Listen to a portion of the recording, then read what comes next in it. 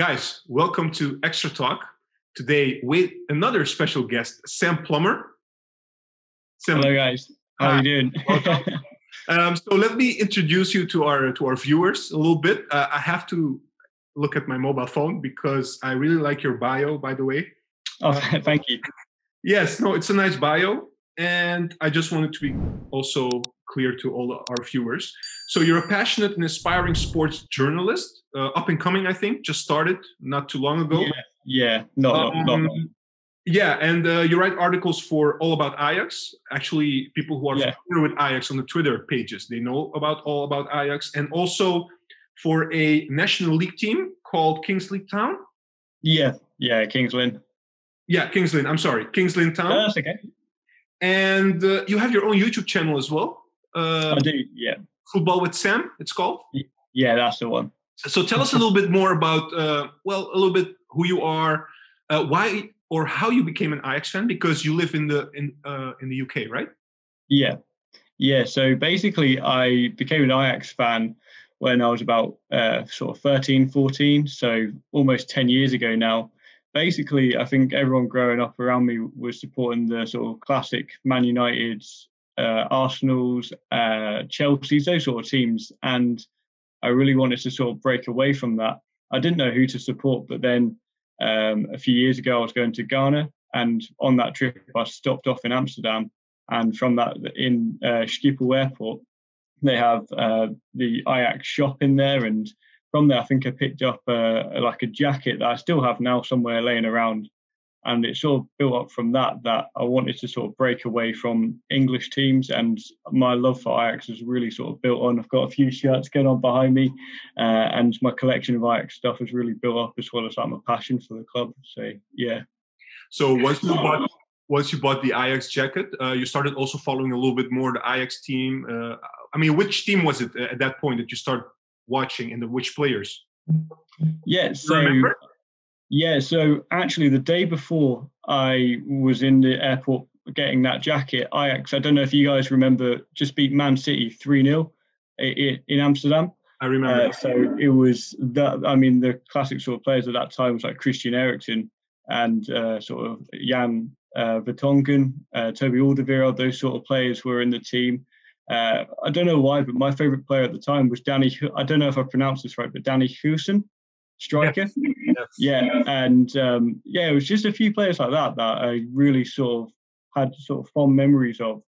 Uh, sort of looking back on that time, I thought they were class players. And uh, Thulani Serero, midfielder, um, you know, a few players like that sort of uh, really were players that I enjoyed watching sort of when I first became an Ajax fan. That's great. That's great. Everybody knows Papimento, of course. Uh, before we start, before we start about today's um, topic, which we want to discuss, uh, just a question about your YouTube channel, uh, maybe for the viewers that are interested. So, do you talk about Ajax, or are you talk in general about other football-related stuff? Yeah, so I mean, the Ajax videos have probably done the best of all my videos so far, which which is always great to see. Uh, I love the support on that side of things, but it's really kind of all sorts of stuff. Like I've done a little bit on Liga, uh, the title race there. My uh, latest video was on the potential Beneliga. Uh, there's a few gaming sort of ones like uh, GeoGuessr videos as well. So it's really a lot sort of across different sort of topics and a few Champions League ones as well, which is something we'll be talking about today. Yes, absolutely. So the topic today, thank you for giving it a slight piece of the of the cake. Um, today we're going to talk about the new Champions League format. Uh, this is, of course, something that has been discussed for a few years now, and uh, it was funny after the Super League uh, being announced, just a couple of days, maybe one day, two days later, the new Champions League format was uh, approved. Uh, we know that Van der Sar was one of the also um, very much involved in this new format. Um, I'm just going to give a little bit of introduction about what is going to change. I think most of us already know, but just a brief highlight. And what I want basically from you, Sam, and also Papimento, I want your view on two things basically. Is this good for football in general, your opinion? And second of all, how does this affect Ajax? Does it affect Ajax in a good way or in a bad way? What's your view on this? So let me start with the Champions League format. So we know that it's going to be uh, from um, 32 teams to 36 teams. there will not be any more uh, the pools that we have right now, so the different um, stages, but there will be basically everything put together. And there will be 10 games, five games away, five games at home. They play against each other, one game only. So there will be no away and home game with the same team. That we know as well. You will play against a team based on ranking. So the coefficient, uh, the UEFA coefficient of a club is still important. That doesn't go away. Uh, what will happen then is then after the 10 games, there will be a ranking from 1 till 36.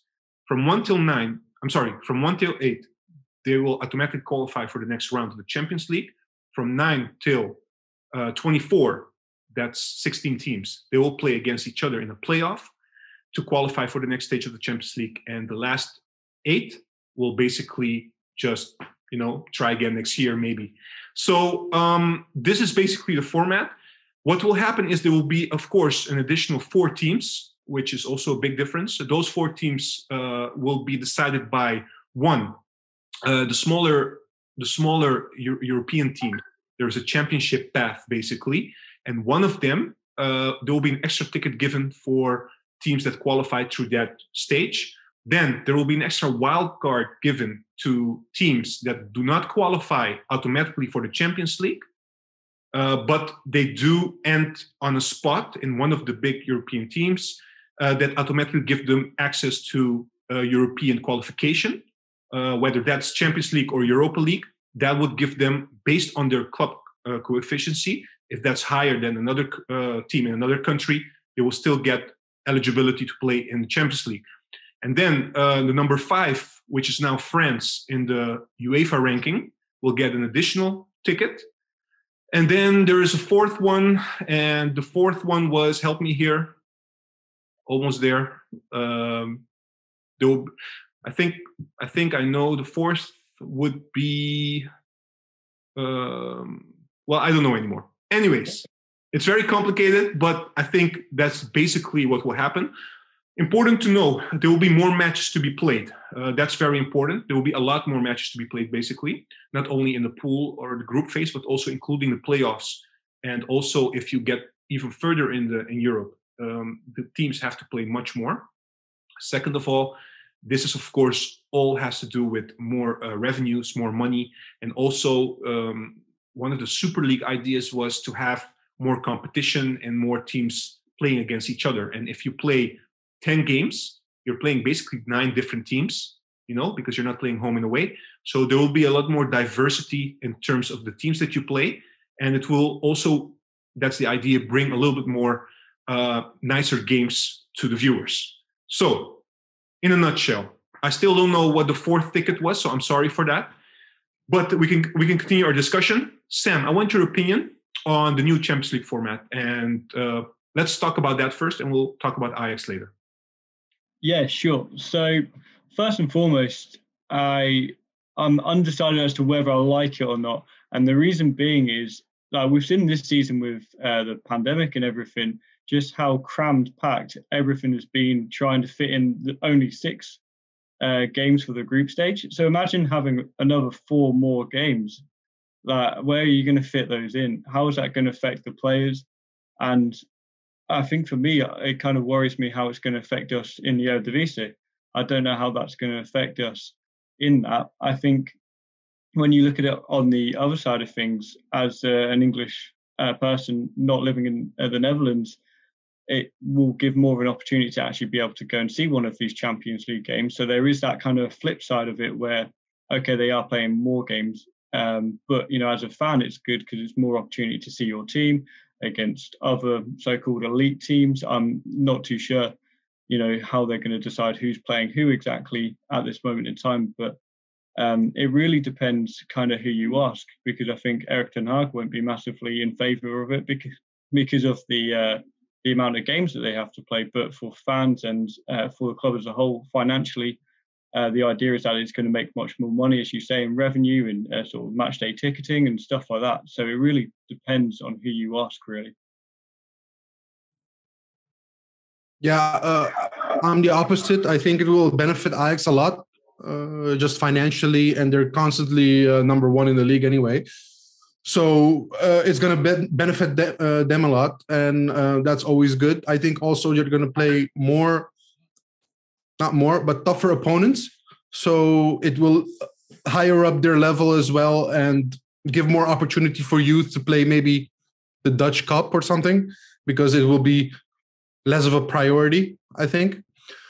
Uh, but I do like the idea that we all know something had to change, right? More revenue. We saw with the Superliga that uh, they promised so much more money, so uh, the UEFA and the FIFA couldn't stay behind.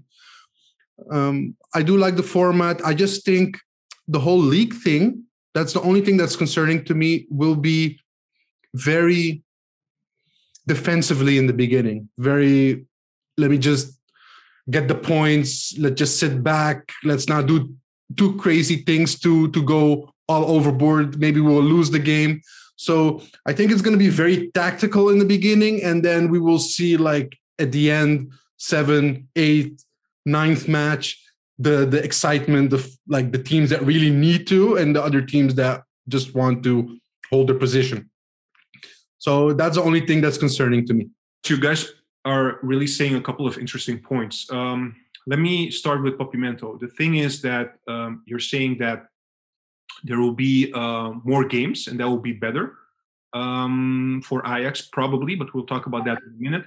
Look, I know also what Sam said, what he raised was very important. Uh, I, I, know that Jurgen Klopp and uh, uh even uh, Guardiola, they came and they said that the Super League is not something they're keen of, but actually the new Champions League format is also not something they're happy with. And I know also that Gundogan, last week, uh, player of Manchester City, always also raised something. Uh, he he tweeted basically and saying that we're all talking about the Super League, but what about also the new Champions League? You know, there is a cry basically for help coming from players and from the coaches. And Klopp really uh, also said that you know they're making basically plans and ideas and all these kind of things, but they're not asking the players, they're not asking the coaches, they're not asking anyone who's close to the football. So in terms of more matches being played, it's not something that is being embraced at the moment by players, coach, managers. And that's a strange thing. So basically, the UEFA uh, or the club, the club owners, they all want more. Basically, that's what's happening. That's what's also the idea behind the Super League. They want more, more revenues, more games, more everything. But the coaches and the players basically say, no, if you want a good level of quality of football, you don't have to raise the amount of games. You have to actually lower it. We have to protect our players. So what's going on here? And how do we have to view these kind of things? I mean as a fan how do you see this? Sam you go first. Well, as a fan, I think I understand exactly what, like as you say, Jurgen Klopp and that are saying because uh, I know obviously COVID has meant that we've had to fit in sort of more games in less period of time where that won't be so much as a problem going forward but you're still having that same problem. You know we, we saw quite a few players ourselves with uh, Kudus at picking up quite a serious injury in that period of time. And i think quite a few players as well uh, picked up injuries where it kind of damaged their progression this season. For me i'd love to see players like Kudus actually grow this season but because of his injury i mean we haven't really seen him much since he returned. And i think I, like I say, I completely understand why managers and players are speaking out about it because, yeah, like as Papi say, it was it would be good financially for Ajax, but you kind of wonder about the development and the progression of the sort of first team players. Will they be halted by these new plans because there's just so many games going on? Well, for me, it's hard to talk about this in general, uh, Juan, and the reason is Premier League is uh, Premier League is a totally different league than uh, than the Dutch league for me. Look, uh, we had it tough this year. Okay, it's because of the Corona, and we had different scheduling, etc. But if you look at Premier League and the uh, and the League Cup and the FA Cup, and they play Champions League, that's a whole different ball game, and they're already playing like 38 games in their league that's totally different than what Ajax has to deal with, I think. So when you know you're talking about Gundogan, you're talking about all these Premier League players. Yeah, they play a lot of matches, but that's not the same in La Liga or or in Italy or in uh, the Dutch competition. or in the Bundesliga. So, yeah, I mean, uh, that's a whole different league, and they play a lot of matches. So I understand their point. But even in the Netherlands, I would I would also consider making a case that uh, there has been a lot of games being played. We don't have a second cup, uh, you know, like tournament, like uh, in the in um, in the UK, for instance. We don't play 38 games. I agree with you on that one. But we also compare it. We have to make a comparison, uh, a fair comparison. We we cannot have the same bench as those as those teams have. We don't have the financial power as those teams have. So maybe you can also counter argue that okay you know what? These teams they play on a very much higher level and they have to compete and go all the way every week. And maybe Ajax doesn't have that. I mean we have to be honest. There are a couple of games we play especially against team in the lower end of the uh, of the league you know like uh, without being disrespectful but you know like the Emmen the ADO Den Haag the RKC these kind of teams we don't have to go 100% at those games. That's a, that's maybe the biggest difference that we have compared to the Bundesliga, the Spanish Liga, the Italian league, and the and the Premier League, of course. So, but at the same time, if we're going to play more games, um, especially don't forget Ajax. Okay, now we have a little bit more of a mix of a balanced mix with older veteran players, but still we depend a lot. Maybe three or four players in our team is always youth, um, at least and you saw what injury can do to us. Yeah, yeah. But you also yeah. see, but you also see the best case I can give you this season is Rensch and Timber. They even uh, came out and they said and they said that it took them a couple of weeks to get into the rhythm, you know, because they had to make the transition from the youth academy to the full squad to con- like stamina wise and physically to be able to withstand and play 90 minutes the football that they have to play yeah. So if we're going to extend that also in the Champions League, it is good maybe in one way that you get a little bit more resistance, you can learn more from the Champions League. But at the same time, it will be a big, maybe a big stretch for these players. But maybe you guys are, don't agree with me. I'm just saying what I think. May I uh, interject, this, Sam? I just want to say that AZ, AZ, we played AZ this weekend, right? AZ didn't play for two weeks, while Ajax played Thursday and they had to play AZ on, on Sunday. So maybe if they start uh, performing as well, they will play the same amount of games as Ajax. Um, and still they're not able to, to compete. So there is a level of Ajax that the other teams are not able to, to get to because of so many games, because we have the youth development and they're playing those tough games and they're growing within a season that's all I wanted to say about that. Sam, what's your take? Because uh, I can. I, I, also wanted to actually say, look, yes, but we only played a couple of Champions League games. So looking at the old format this season, and I know I'm only looking at this season, but just just to give you an idea. So Kudus got injured in a Champions League game. At the end of December, we didn't have a striker anymore. We were for we were basically forced to get Haller in because Traore, a youngster, uh, Brobbey, a youngster, they all got injured at that that time during the winter break. So Ajax was panicking, not panicking, of, of course, a lot, but they were thinking like, hey, we have to do something if we want to keep our first position in the league and be and securing our Champions League next year. So they go they went out and bought Haller. And the reason you can buy Haller, of course, is because of the situation we're in financially and because of the Champions League and everything we have done in recent years. But what I'm trying to say is we only played six games. Now we're going to extend it maybe even double it, almost double it to 10 games, wouldn't this harm us in terms of injuries a little bit more, especially for the young players? Well, this is what I kind of think, you know, because obviously, as you as you say, this season is different because of the pandemic, but this season will be repeated sort of year on year if we're having to play 10 games additionally like I appreciate what you say about um, in England, they obviously play more games domestically. But the thing is, um, the, the, it's not much of a difference in the early stages because obviously, if you're playing week in, you know, if you're playing on a Sunday, then a Thursday or, you know, midweek at some point, it's still the same, all bar what one or two games that the English teams will play in the League Cup. But in the first couple of rounds of the League Cup, most English uh, teams will play a second team. They'll play youngsters. They'll play players that won't be playing in the Premier League and in the Champions League. So it's it's something that I think for Ajax is a very serious problem. You know, in the same way that it is in the Premier League. Um, obviously, looking sort of beyond Christmas time, that's when you kind of see the difference because in England, uh, after the Champions League is done for the group stage, that's when England you have so many games towards Christmas and New Year where Ajax will have a couple of weeks off.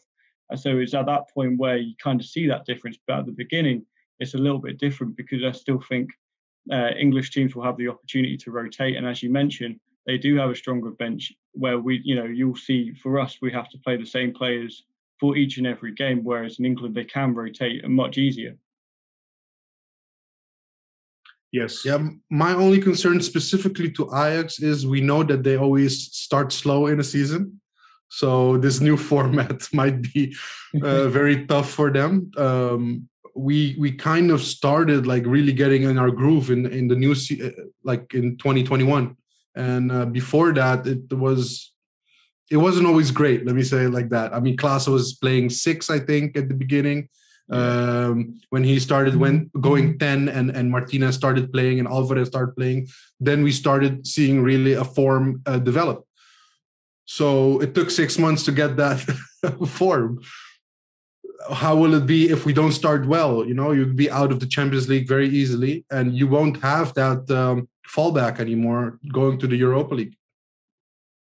True. There will be no fallback anymore in the new Champions League format. What do I do like, however, about the new Champions League format, I want to put it out there, but it's my opinion, is that um, even if you don't qualify and become, you know, like come in the first eight, there is always, there's still a very huge possibility for you to still qualify because you still got one chance to qualify against one opponent. And I like that concept basically. There's always one more chance to make it happen and qualify for the next round. And basically, what they're doing is only the last eight will not qualify. So it gives you more chances to, you know, like after the winter break, still be in Europe. And that's different than now. I mean, of course, you can go to Europa League, but I, I mean, in terms of going further in the Champions League, this might be also this gives you a little bit more chance, especially for Ajax. Then in that case, yeah, sure. I mean, I don't know about you guys, but I would much rather us be competitive in the Champions League than finish third and go through the Europa League stages, kind of like this season. So I definitely agree, you know, with with the Champions League. I mean, every Ajax fan dreams of sort of recreating what we have in the past and actually going far in the Champions League. I mean, 20 what 2019 was special, but it could have been a bit better. But it, either way, it's much better, in my opinion, doing something similar to that than going through and maybe get into the final of the Europa League, I think it has that sort of more special value than, as you said, the uh, the Europa League does. I must say, the games against Roma, I really loved. I loved the game against uh, Lille. Lille. It was also yeah. a great game. I mean, the only one was the Young Boys game. That was an easy one, but uh, the the challenge was there, and I love that. Yeah. And so now, I, if you don't even continue, you you'll be out. So it will be just one one game a week. Yeah, that that's true. But still, you have already played ten games, right? I mean, it's not like true. you only play six now, and basically you could be done. Um, all right. So uh, coming a little bit more into the Ajax uh, topic, we already touched upon Ajax a little bit, but especially the financial part. Um, I was also thinking let's say Ajax is becoming more and more dominant, which we're seeing already happening, and not only this season, but if you if you have a look at the last few seasons, you see Ajax is slowly moving away financially, but also in terms of the players they're uh, they're buying in, et cetera, et cetera, from the competition. I'm not saying now that we already became the Bayern Munich. Uh, a lot of Dutch pundits already started saying that. I'm not going going that far, but what will happen is if there will be an increase in um, in starting price, which uh, I read that would be now it's 40 million basically if you start playing Champions League, but it will go all the way up to 70 or 90 million, so it will be double that. Um, look, the Dutch league is not the same as the Premier League or the Bundesliga or these kind of teams. I mean, uh, all due respect, the Premier League is a league of, of its own in terms of prize money and TV rights, etc. But the difference in Holland is already pretty big between, uh, let's say, the top tier teams, especially Ajax, and the lower teams what will happen if if this goes through is that people that the teams that play Champions League and that might be Ajax um, and maybe a second team in the Dutch league if they qualify as well. That will, if you play one, two, three years, that will give you such a jump shot, basically, and you really pull away from the rest of the teams. That's my opinion, and I don't know if that's a good thing for the Dutch league in general. And I know Sam that you've been talking about the Beneliga. I don't want to talk about the Beneliga now, but I'm just saying that how do you think this will be in terms of Ajax in general, but also uh, compared to the other teams in the domestic league in the Eredivisie? Yeah, I mean that's a great question. I think it really depends, as you mentioned at the very beginning. You know, those four added teams. One of those could be uh, maybe an additional Eredivisie team. I'm not too sure.